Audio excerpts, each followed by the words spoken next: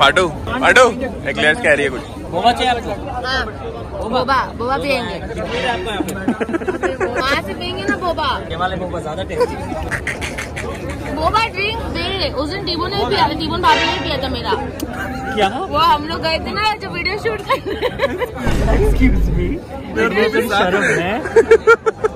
अभी मैंने कोकोनट बोला लिया था वो पिया था भाई इन्होंने चोरी करके। कोकोनट